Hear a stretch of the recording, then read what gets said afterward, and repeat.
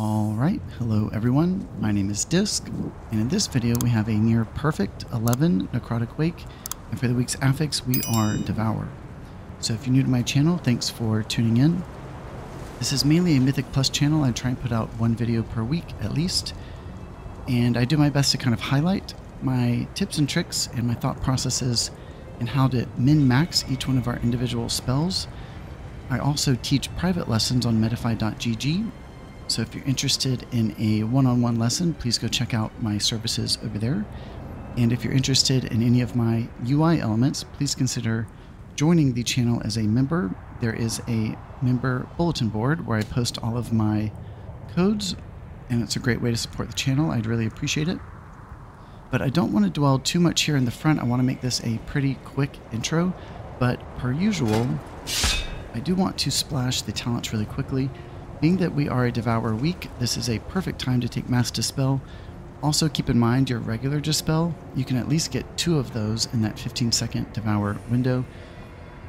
Let's see, I am running Life, I'm running Bulwark, Essence Devour, obviously this is a Weal and Woe build, and Mindbender. So the biggest change here is, this is my first video featuring the Void Wraith. I have been playing Depth of Shadows, which I think is pretty fun, but as I'm branching into level 12s now, I do want to take the one that just gives a little more output, and people have been calling it bugged, but I'm not too sure kind of where that lands with Blizzard. But one way or another, it is doing more damage uh, pretty significantly, so I am going to make the change for now.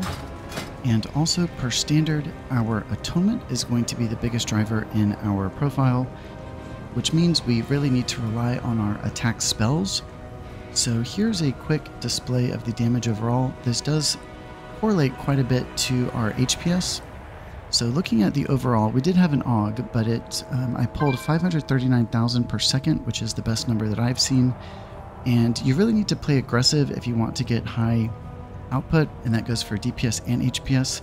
But looking at the DPS spread, we see Entropic Rift and the Void Wraith kind of vying for first place, with all of the others trailing far behind. This is what you want. The Rift is going to be passive, it's always kind of going to be in that spot, but the Void Wraith is going to have a lot of loss unless you're really focusing on your Torments. I just made a video earlier today kind of highlighting that rotation, what it looks like. I have a weak card that I made to help track my Torments. I have a little counter, which is really nice for helping kind of uh, keep on track. But then in third place, I see Dark Reprimand, and that's something I think you pretty commonly want. Dark Reprimand is such a huge spell for us. It plays off of Harsh Discipline. Our Dark Reprimand also is going to help our Weal and Woe. We really need to be making sure we're casting our Radiance to get these extra procs because of how huge Dark Reprimand is. And then, uh, yeah, we see below there Collapsing Void. So one thing with the Collapsing Void is you don't ever want it to collapse after a pull in, so I use a cancelaura macro to cancel it in time, and we see some examples of that in here. And then Divine Star, always want to try and get one per Shadow Covenant window, if necessary, if it's AoE. And then Holy Nova, I'm using that as an opener usually, and then I also use it after my pet window. So uh, without further ado, let's go ahead and clip over to the key.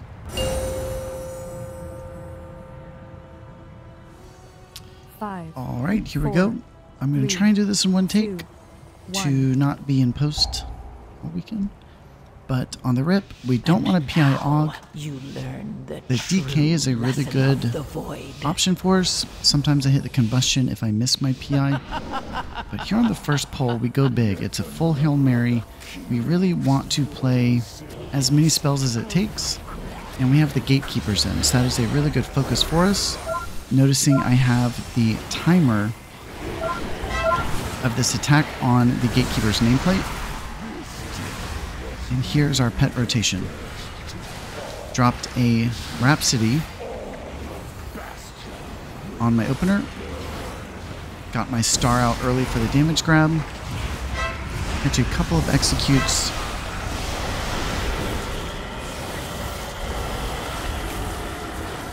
So, talking about that timer on the nameplate, I was not ready for the second one, and we almost had some deaths there, but thankfully we got through it with a Rapture. And there's a paint up on the tank back there just to help the opener. So looking at my cooldowns, always a good idea in between pulls. I have Rift, I have Void Wraith, I Cryo. So Barrier would have been a great spell for pull 1. That was a quick Shadowmeld to get that cast off of me. Uh, would have, Barrier would have been great for pull 1, but it's still great for pull 2. There is high spike damage here. Switch my targets to preserve my dots. Switch my targets for executes. And that was a really good 7 torment window. So now that combat's out, all I'm thinking is CDR. I really want the cooldown of my pet back. And for that first affix, as long as your pet or rift is out, that's really all you need. I was trying to hold mass for the boss, where it might come in more handy. And this pull here has quite a bit of spike damage too, so getting our pet out quickly is really important. It's getting a little bit low. Void Wraith Death, Rift, Penance. Looking a star for the damage grab. Rhapsody for the damage grab. A Radiance, as usual. I got two death resets, and it looks like maybe six or seven torments there. So at the time of running this key, I didn't have haste on my neck. I do now, so it'll be interesting to see if I have more success with that final torment that it looks like I might be missing. But we are going for some trash here. Noticing KUI nameplates, I'm trying to find the darkest red mob. Set my focus early. Here comes the affix. I have my pet and my rift. That's all we need. Divine Star early for the damage grab. Finding and execute really quick. Couple executes there. Six torments, miss my seventh. Still pretty good. So preparing for next boss, we're really only tracking one spell, and it's his vomit, his heave. You really always want something rolling there. You really want to shield the person before they're hit. I'm not taking disease dispel.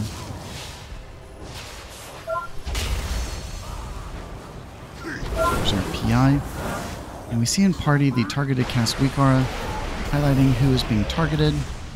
And without a shield, that took the mage down pretty low. Looks like he didn't use a defensive. But, um, so we usually get these half rotations and full rotations, as I'm calling them, where we have twice as many rifts as Mindbender. But the way this fight goes, I'm only running Rift when I have my Mindbender.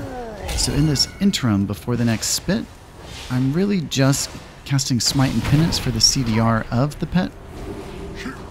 And then here we go, we're lined up for the next one. I'm selected. That was a Hail Mary for my defensives. I cast a shield on myself, Desperate Prayer and Fade. And really important to position that as well. So here's our pet with our Mindbender. I'm sorry, our pet with our Rift. Got six torments, pretty good. So now in this little interim, I'm just playing Smite. I'm not casting the Rift off, off cycle. Just casting my Smite to get them both back together. I'm selected again without my Desperate Prayer. That is a perfect time for a personal pain sup. And here goes our next Mindbender rotation.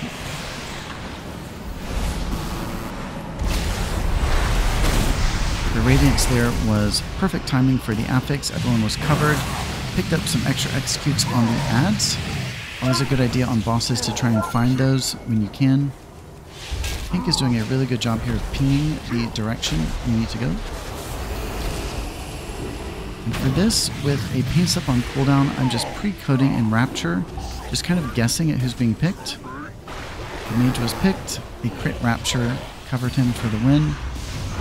And here's my last rotation attempt.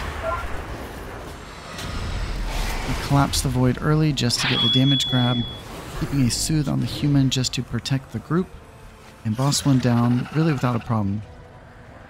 So on this next pull we have one focus, darkest red there, the Necromancer. So I do not have my Mindbender, but I do have my Rift. Let's see what I do here. Getting my Rhapsody out. And in Party, you can see where those single target attacks is going to go on nameplates.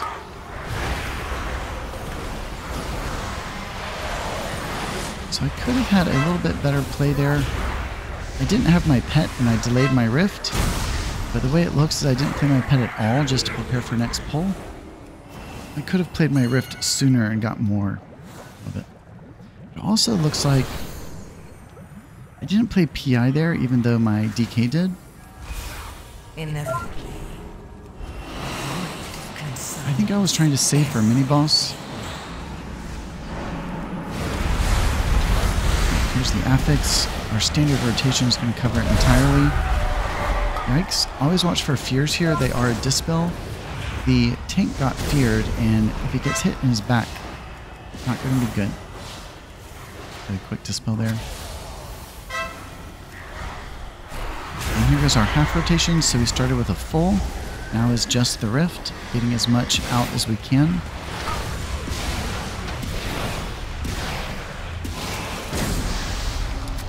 Collapse missed. Ouch. But here goes mini boss. We do have hostile purge here, which we don't see often, but it's not a problem for us. Also, I have PI I want to drop, so I'm paying really close attention in party when my mage pops combustion.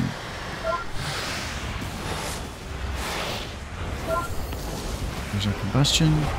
There's our PI.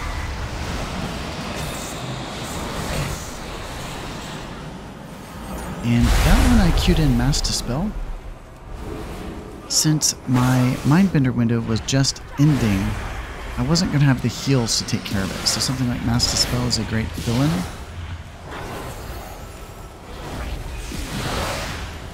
And if you're noticing why my cast bar is glowing, that's my indicator that I have a combat potion rolling, which I I just macro that into PI if anyone's wondering.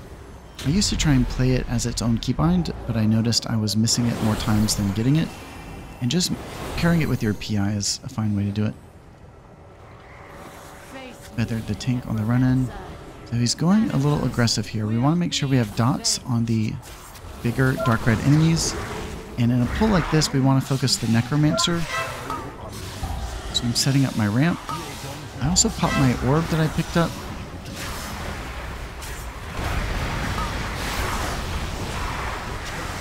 Fine star for the damage grab. Here's our radiance.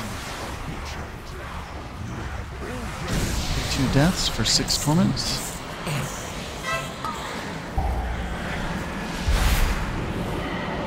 There's another fear, but that is alright. And for this one, I'm going for single dispels. As long as you play your single dispel early enough, you can get two, which is usually all you need. Okay, so we're in a good spot here. My pet and rift are ready for next pull. Want to, focus the necromancer. Oh, I forgot. So he goes to get those guys over there, giving him feathers just to kind of help the gather. Have my focus target already. And we have a little bit of a clinch moment here, so watch how dropping Rhapsody early.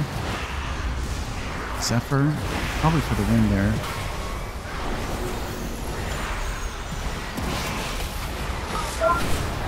Yeah, the mage, I accidentally pinged something.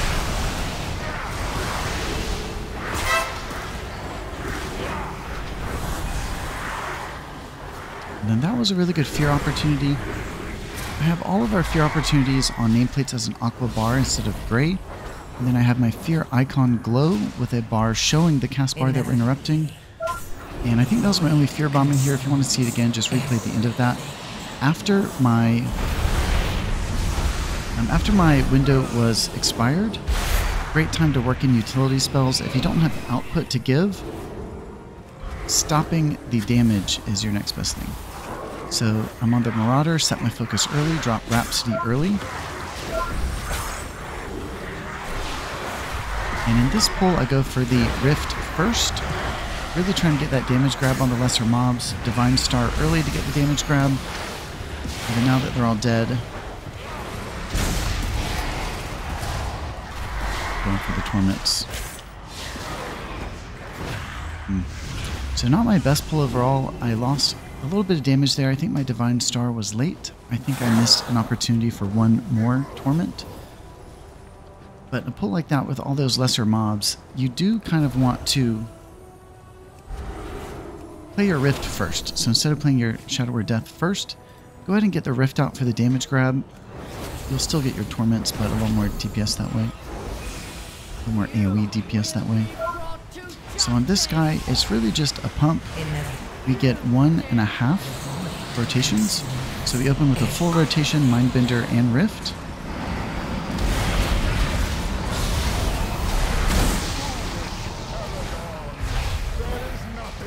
Six Torments. And now we just go for the Rift to polish it off. Making sure I have an Atonement on the tank. My shield last for the Words of the Pious. And then here is my half rotation with the Rift. I believe it collapses naturally on its own. Yep. And since I am without weapon, I do want to get this spear where I have a small problem upstairs. We'll cover that in a second. So on Amarth, I really just send on pull. We're trying to get this guy down. There's not too much of a threat as long as the whole team does their job. You could play Shackle, but I am not playing Shackle in this run. My PI target is the DK, but we hold.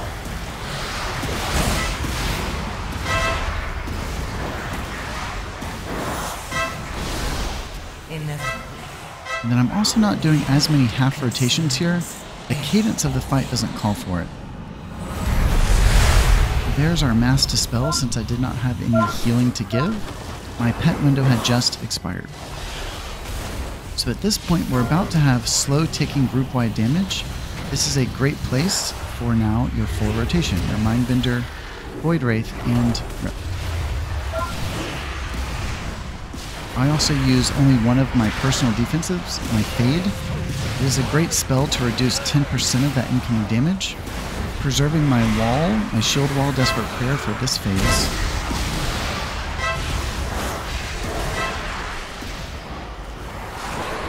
Barrier since I don't have output. Gripping the Evoker in since he needed help. There's my shield wall. And I also went to Rapture there. So a really good rule of thumb with Rapture is always cast a Radiance first. If your group's atoned, your Rapture shields are going to hit harder due to your mastery. Plus you're buying a proc, plus you're healing. It's a really good sequence to lead into Rapture with the Radiance. And here I'm going for an 8 Torment window, but we don't get it because he dies just a little too soon. But I did get my Rift collapse there, the cancelaura macro. I caught my collapse right before he died, and I actually was the overkill. So up here we have quite a bit of trash to do. The biggest thing you can do is make sure you're focusing the most healthy mob, which is a darker red per my KUI nameplates. And looking at spells is a good idea in between combat. In this moment, I'm noticing I have nothing but my Mindbender. And the Mindbender is enough as long as we have a solid Atonement ramp and a dot ramp. Setting my focus early, getting a handful of dots out. This is too big of a group for all of them. Rhapsody while they're all up. Pet, Death, Rift, Penance. Divine Star early for the damage grab. Working my Radiance per usual. Two extra Shadow Word Deaths. So here I believe we go for half rotation. There's too much left of this pull, even though my Mindbender's expired. So here goes the half rotation. Just my Rift is out, focusing on the healthiest mob. And here comes the affix. I have no healing to give. Mass Dispel.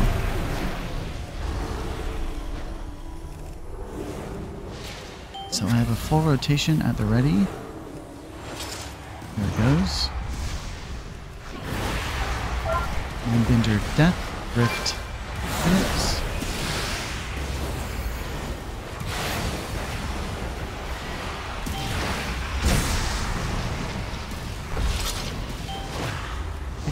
Extra execute there and a seventh torment window. Super thick. And so again, in a pull like this, we want to dot two, cast our penance to spread the final two. Our pet is almost ready. Rhapsody is dropped. Atonements are in group. Shield is the last thing I do for the Words of the Pious. And here goes my Mindbender rotation. Mindbender Death, Rift Penance, Spam Smites, Penance as soon as that's back available, Spam more, Death, Penance, for 6 Torment window. And this is a little tricky, no Mass Dispel, no heals. I do go for a half rotation though, just the Rift, and it looks like it covered it. The Rift, 9 times out of 10, will do everything you need. The Mindbender is just kind of a nice damage and healing amplifier to the Rift. So just a couple more trash pulls here. Things to watch out for are people getting fixated. I think we have a really good grip example here. But not really too much to these guys. You want to make those cleavers hit one another. Also watch out if you get fixated. I think it's about to happen on the mage. Who's not moving. Grip him to safety. Uh, but this is just a pump. You want to make sure you play the, the cleaver mechanic. Which my allies are doing great. I did not use PI there. The rest of my team did, but we can play on next pull and we'll still be in a good position. So I believe what I'm thinking right now is I'm watching for the combustion. I want to play PI AS AP, so I have it on boss.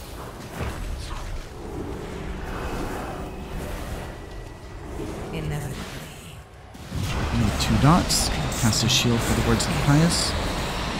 Here comes the affix, so we definitely need a radiance casting it on the mage to make sure it hits all five of us. I am losing my dot here. Let's see if I switch targets. Yep, switch targets mid-pull to maintain my dots. You never really want to recast dot mid-combat. You want to let your penance do that. And this pull has enough help. It looks like I'm reaching for another full rotation here. Mindbender and Rift. Six Torment window, cancelled my Rift, got the Collapse. And the only bad thing about a second Mindbender there is he is not ready here. So I believe I spend a couple seconds just fapping for CDR. Opening with two dots. Penance to spread the final two. And this guy has an aura in melee, so you definitely want to keep your melee atoned. And also you can see where that cast is going ahead of time with my targeted cast weak aura. Really good play to grip people out of the spit. I think we have an example of that here. I wouldn't do that to melee, but you can do it to your ranged.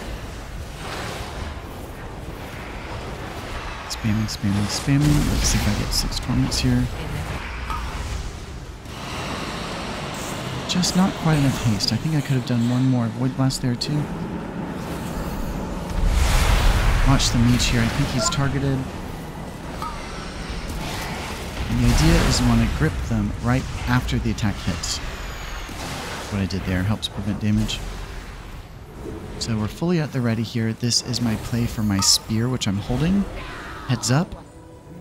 I start to cast it, which you can see, and I accidentally cancel it, and it never gets off. So pay attention for that. But on open here, we want to go for a half rotation, just the rift. And that's going to help cover these bleeds. I got the bleed here, so I went for a partial defense just to fade. And you'll see me miss my spear.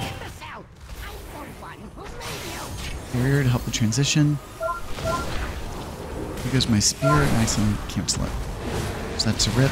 But we had a barrier to help the transition. Here goes our pet window. I'm amplifying it with Vampiric Embrace just for the extra output.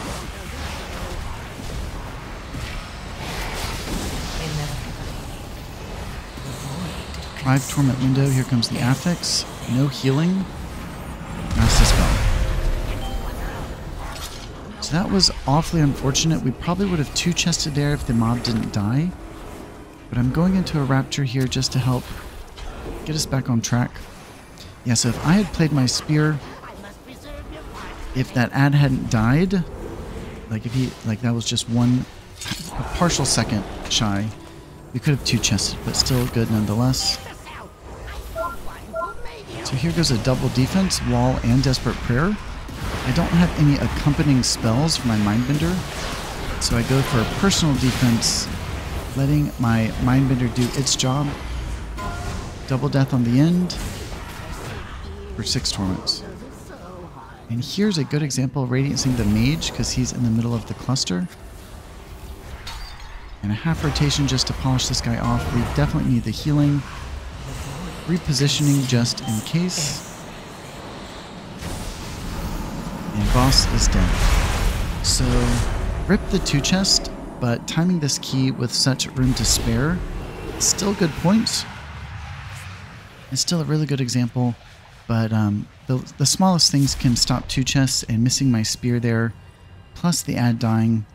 But um, anyway, we have to think on the fly. The best thing we can do with a spear here is use it into the Icebound Aegis. So these come pretty frequently. That is the only spell we really need to track the timer of. We want to overlap heals there. And then also that Dispel and Party. We can see where it's going ahead of time with the target that casts Weak Aura. The name of the game is get out ahead of time if it's on you, and if it's not on you, get away from that person ahead of time.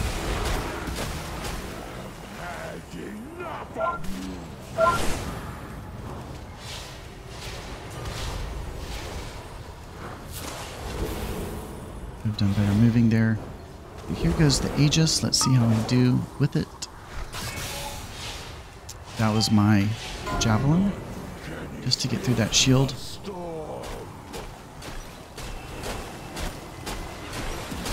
Goes the Mindbender. Really trying to get a damage grab in between the movement phases. Quick dispels for the win. There is a damaging mechanic and a haste reduction mechanic, so you want to get those off pretty quickly. Six torments for the win into a rapture. And the rapture here is not only going to help us with the damage, but it's also going to give everyone a speed boost with body and soul. And I'm not wanting to use mass dispel here, so I opted for a single dispel. But arguably that kind of hurt me there with the dispel mechanic.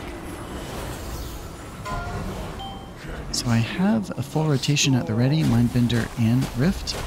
Not good to press it though while you're having to move, so you want to wait until it's over.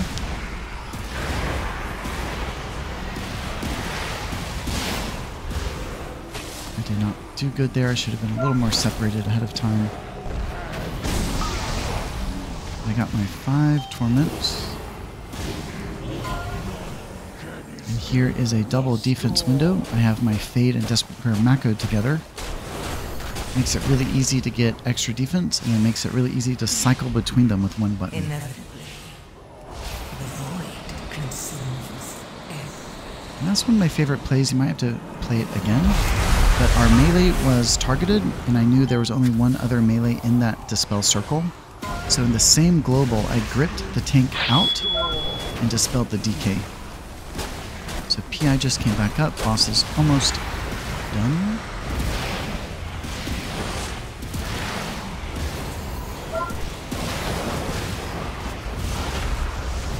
Seven torments for the win. And just for comfort, I'm closing out here with a Radiance into a Rapture for the win. So that was my last 11. It was really exciting to have such a clean run on such a hard key. We had over six minutes to spare, which is ridiculous because all my other attempts, we honestly just timed out. Interesting to see what's going to happen as soon as the dungeon changes. But I think that was a really good example of a necrotic wake using a using my torment counter for the win, using void wraith for the win, really trying to prioritize at least five torments, aiming for upwards of eight with executes. And now that I have a little more haste on my gear, I think that's going to be easier to do. But thanks everyone for tuning in. Please check me out on Metafy if you're interested in a one-on-one lesson. And please consider joining the channel if you would like to try out any of my UI elements. But again, thanks for tuning in, and until next time, Disc out.